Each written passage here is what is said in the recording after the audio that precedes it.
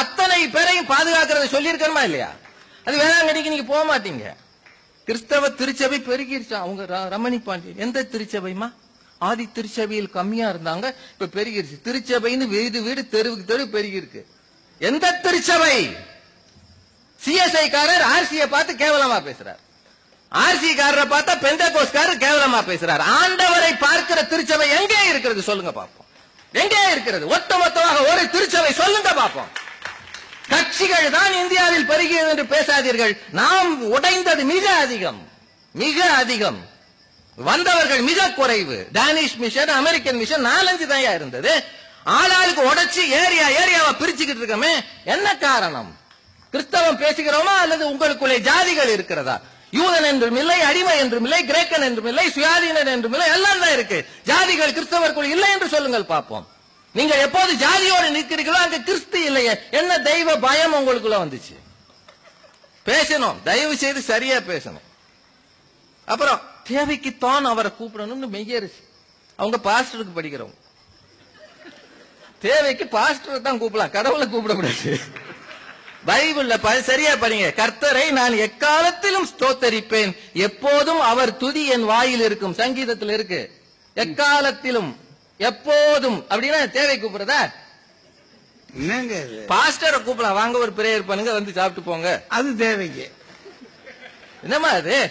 கிறிஸ்தவர்கள் எதிர் தாக்குதல் நடத்தாததால் தான் இந்தியா அமைதி பூங்காவாக இருந்தது. கிறிஸ்தவர்கள் எப்படி தாக்குதல் நடத்துவார்கள்? எதுக்கு நடத்தணும்? ஏன்னா அவ்வளவு பலம் இருக்கா என்ன பலம் இருக்கு உங்களுக்கு? இந்தியா ஏன் அமைதி பூங்கா- பூங்காவாக இருக்கிறது என்றால் மற்றவர்களுக்கு இருக்கிறது சகிப்புத்தன்மையால் இருக்கிறது. சத்தியம் பேசணும். எங்கேயும் பிரச்சனை பண்ணுவதற்கு கிறிஸ்தவர்கள் போகக்கூடாது. பிரச்சனை எங்கு பண்ண வேண்டாம். இருக்கிற இடம் எல்லாம் கிறிஸ்தவம். நீ உனக்குள்ள இருந்தீங்கன்னா அடுத்தவனுக்குள்ள ஏன் திணிக்கிற? இந்த கேள்வியை கேட்டிருக்கமா? நாம எப்போ என்ன? எதை எடு தகவல் தொழில்நுட்பம் கிறிஸ்தவர்களால் வளர்ந்துருச்சான் பூமி தட்டையானதுன்னு சொன்னது நாம தான். கலீலியோ முழங்கால் போட வச்சு அழுக வச்சது நாம தான். உண்மையா இல்லையா? ஐயா இருக்கிறாங்க. இறையல் கல்லூரி முதல்வர் இருக்கிறார். தகவல் தொழில்நுட்பம்னா பூமி தட்டையானதுன்னு எப்படி சொன்னோம்? இன்னைக்கு சர்ச் ரோம் ரோம்ல அவர் மன்னிப்பு கேட்டார் அது. போப்பாண்டவர் மன்னிப்பு கேட்டார் நாங்க செஞ்சது தப்பு. ரொம்ப காலத்துக்கு முன்னாடி கலீலியோ செய்ததற்கு இப்ப மன்னிப்பு கேட்கிறோம்.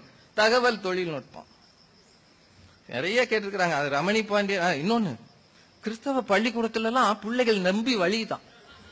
மே மாச டீச்சர்ல புள்ள பிடிச்சிட்டு அலையுது நீங்க. கிறிஸ்தவ டீச்சரை பார்த்து அவன் அலறி ஓடுறான். எல்லா பள்ளிக்கூடத்திலயுமே தான் அப்படிதான் இருக்கு. இல்ல இல்ல நான் சொல்றது பொதுவா.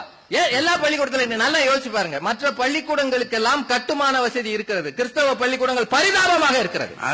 நான் திண்டுக்கல்ல நான் போனேங்க. திண்டுக்கல்ல அது ஒரு டட்லி ஸ்கூலா அந்த ஸ்கூலுக்கு போனேன். நான் பேசுறதுக்காக போனேன். பாத்ரூம் போகணும்னு கேட்டேன். டீச்சர்ஸ் பாத்ரூம் கூட்டு போனாங்க. தாப்பால் இல்ல தண்ணியும் இல்ல. டீச்சர்ஸ் பாத்ரூம் எப்படி இருந்தது? அப்படின்னா மத்தத பாருங்க. யோசிச்சு பாருங்க. அஞ்சு லட்சம் இவங்க சொல்றாங்க அட்மிஷன் நிரம்பி வெளியில அஞ்சு லட்சம் கொடுத்து வாத்தியார் வந்துட்டு சம்பளம் வாங்காம உட்கார்ந்து இருக்கிறார் உண்மையா இல்லையா? அஞ்சு லட்சம் யாரு கொடுத்தாரு. ஆண்டவருக்கா ஆளுபவருக்கு. சொன்னோம்னா இது வேற பிறகு எல்லாரும் உட்கார்ந்து இருக்கீங்க இது வேற வம்பு. இல்ல அது வேண்டாம் வேண்டாம் வேண்டாம். ஏன்னா யார சொல்றது? எல்லாம் அவங்க எல்லாம் தேவ பக்தியில மேல போயிட்டாங்க. ஏமா கொடுமை பண்றீங்க கிறிஸ்தவ ஸ்கூலை பத்தி? அதுல அஹ், இறையியல் கல்லூரிகள் நிறைய பேர் வந்து படிக்கிறாங்க. இந்த கேள்விக்கு மட்டும் தயவு செய்து பதில் சொல்லுங்க. இறையியல் கல்லூரியில் படிக்கிறவர்கள் பேர்ல எனக்கு தனியான மரியாதை உண்டு. நீங்கள் எல்லாம் பாஸ்டர்கள் ஆகும்போது நன்றாக இருக்கிறீர்கள். கரஸ்பாண்டன்ட் ஆகும்போது ஏன் மாறுகிறீர்கள். இந்த கேள்விக்கு நீங்க தயவு தயவு செய்து பதில் சொல்லணும். ஞாயிற்றுக்கிழமை நீங்க கோயில்ல நின்னு பேசும்போது முன்னாடி உட்கார்ந்து இருக்கிற அந்த பெண் ஒரு டீச்சர் அவ. நம்முடைய சபையின் அங்கத்தினர். அன்னைக்கு பேசுகிற வார்த்தைகளில் ஆண்டவர் தெரிகிறார். ஆனால் சாயந்தரம் போய் ஒரு மாதம் எனக்கு மெட்டர்னிட்டி லீவ் வேணும்னா அவர் பேசுகிற பேச்சு அவர் பேசினா பரவாயில்ல. ஒரு வீட்டம்மா பேசுது. ஐயா இப்ப பார்க்க முடியாது. ஐயாவை பார்க்கறதுக்கு தானே சபையில் அவர் இருக்கிறாரு. என்றைக்கு சபைகளோடு நிறுவனங்கள் சேர்ந்ததோ அன்றைக்கு சபைகள் கிறிஸ்தவத்தை மற